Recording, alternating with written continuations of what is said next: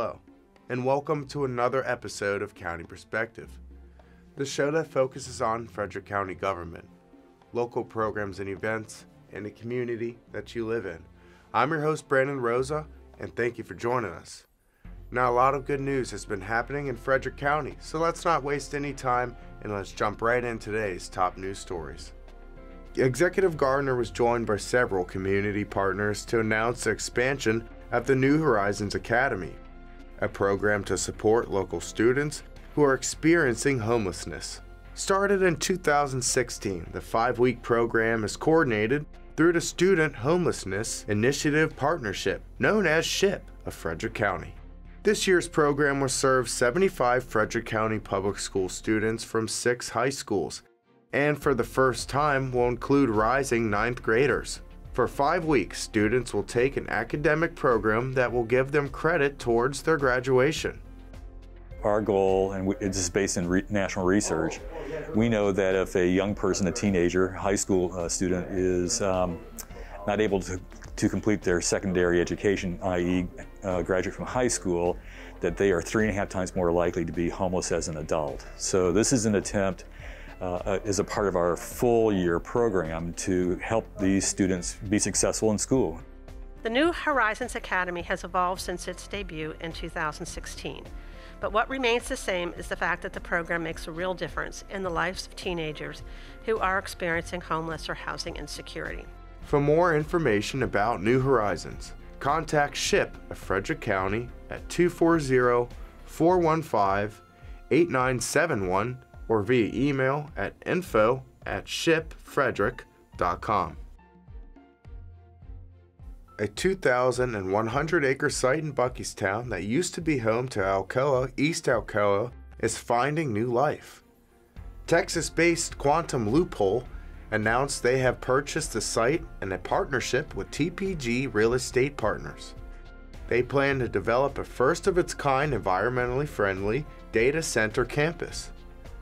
Plans for the site include efficient design for sustainable power and water use, and a nature first design aesthetic to protect views and reduce visibility from public roadways. County Executive Jan Gardner said the announcement is big news for Frederick County.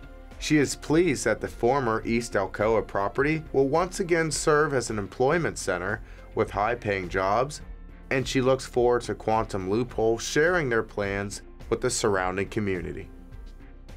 Based on improved health metrics, Frederick County Executive Jan Gardner announced plans to phase in the reopening of Frederick County government buildings. County buildings opened to employees on Tuesday, July 6 as they transition back to office work sites. Beginning Monday, August 2nd, divisions may begin to offer access to the public as appropriate, such as by appointment. All county buildings will return to normal operations and be fully open to the public beginning Wednesday, September 1st. Because the virus remains in the community, masks will be required to be worn in all public areas of county buildings and in all meetings or gatherings of employees during the transition period. After September 1st, employees and members of the public who are fully vaccinated against COVID 19 will no longer be required to wear masks. Many Frederick County government facilities are opening their doors again for the public, like parks and recreation facilities and now Frederick County Animal Control. Due to the COVID 19 pandemic, Frederick County Animal Control was closed to the public and was offering virtual adoptions, but soon they will be opening their doors for visitors to come see the animals face to face. Before coming into the facility, visitors should be aware of the new rules. Take a look. Welcome to the Frederick County Animal Control and Pet Adoption Center. To ensure a safe and enjoyable visit for all, we ask you adhere to the following guidelines. Masks are required to be worn in the facility at all times, covering mouth and nose completely. Visitors should apply hand sanitizer upon entry and after visiting each animal. Sanitizer is available throughout the facility. Visitors should not stick hands and fingers into cages or kennels. Visitors that do not comply with these guidelines will be asked to leave. Each animal's cage is locked. Visitors and shelter staff will open them and allow you to interact once you have checked the pet's availability and have read its medical and behavioral profiles. Animal profiles can be accessed by scanning the QR code on each cage with the camera on your smartphone. If you need assistance or do not have a smartphone, staff and volunteers will be on hand to assist you. While applications should be filled out completely prior to your arrival, please notify staff at the front desk if you've decided on a specific animal during your visit. Thank you for visiting Frederick County Animal Control and Pet Adoption Center. Staff and volunteers will be happy to answer any questions you have during your time at our facility. Stay with us. We have plenty more coming up on County Perspective.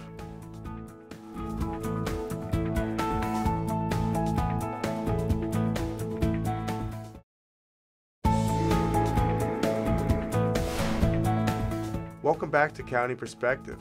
I'm your host, Brandon Rosa. In just a few moments, we'll take a look at how motorists and pedestrians can share the road safely. But before we do that, let's see who our pet of the week is.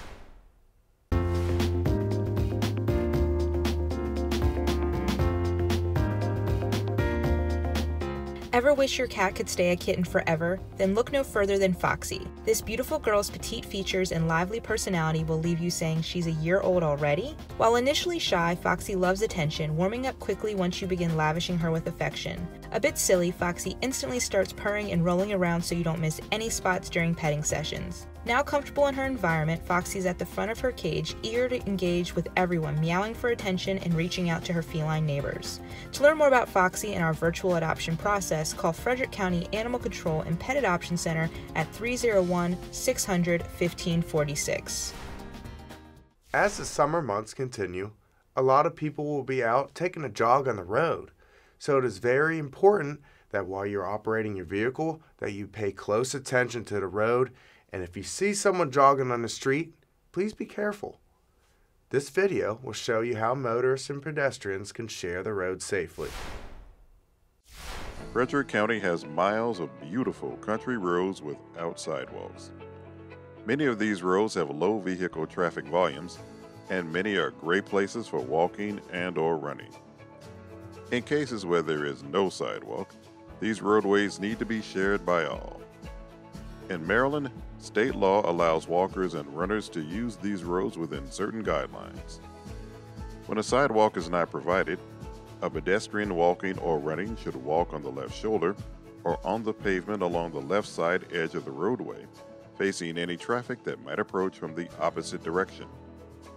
It may be safer to cross the road and travel alongside the opposite side of the road when approaching blind curves or hills. Walk or run with a partner if possible, but when being passed by vehicles from in front or behind, maintain single file. Wear bright colored clothing that can easily be seen by drivers, and avoid dark colored clothing, especially at night. Be especially careful when walking or running at dawn or dusk, as it's harder for drivers to see you at these times. When walking or running at night, use a flashlight or headlamp to see the road surface in order to avoid any tripping hazard. Also, when walking or running at night, wear either clothing with luminescent striping or clothing that incorporates lighting into the material. Drivers also need to do their part by slowing down and giving walkers and runners plenty of room. Be especially cautious around areas with hills and curves. Lastly, respect each other as we are all legally allowed on the road together. Looking for something to do in the next few weeks? Well, Frederick County has plenty of activities to keep you busy. Check out some of the great programs that county departments are offering.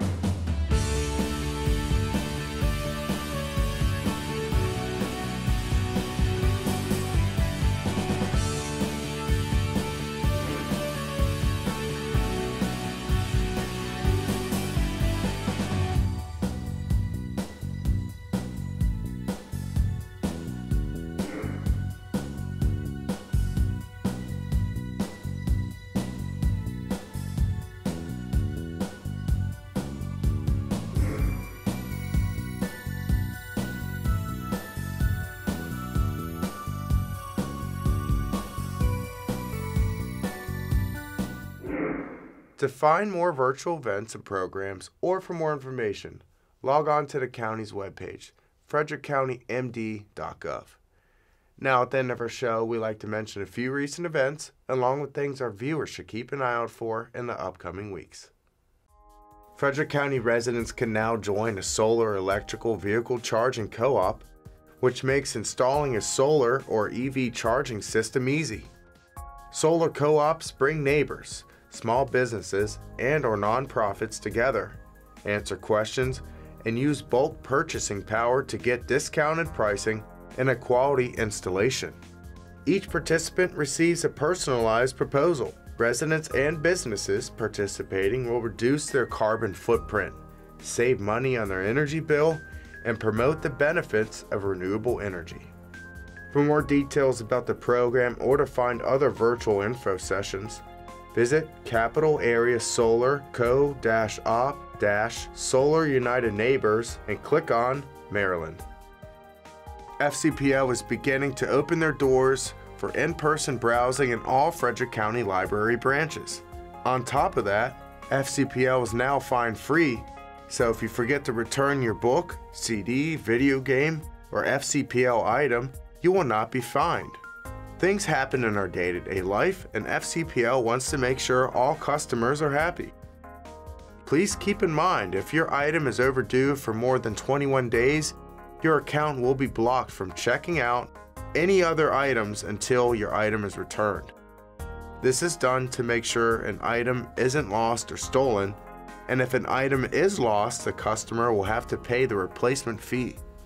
If you would like more information about the fine free policy and more information about FCPL reopening, visit fcpl.org. Well, that's it for this episode of County Perspective, but don't forget to follow Frederick County on social media in order to keep up to date on important news and events. We'll see you next time for a fresh look from a county perspective.